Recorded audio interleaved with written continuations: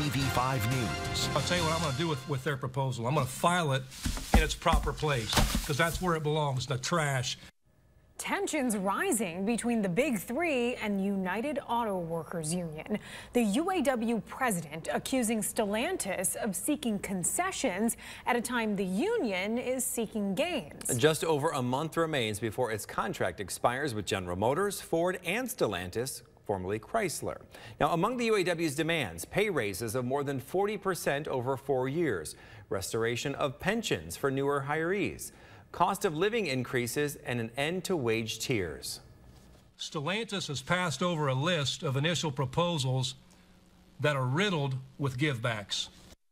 In a Facebook Live today, UAW President Shawn Fain accused Stellantis of threatening the workers' profit sharing formula, of proposing cuts to existing medical coverage, eliminating the holiday conversion option, among other things. He points out Stellantis' more than $12 billion in profits in the first half of the year.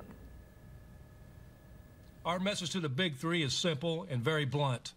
Record profits equal record contracts but apparently Stellantis isn't listening.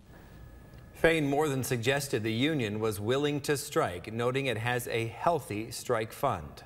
We have a plan, and and uh, come September 14th, if these companies don't deliver, they're going to see that they're going to see that plan unfold. We have reached out to Stellantis for its take on the negotiations thus far. The company has yet to respond. The UAW did not directly address progress with GM or Ford.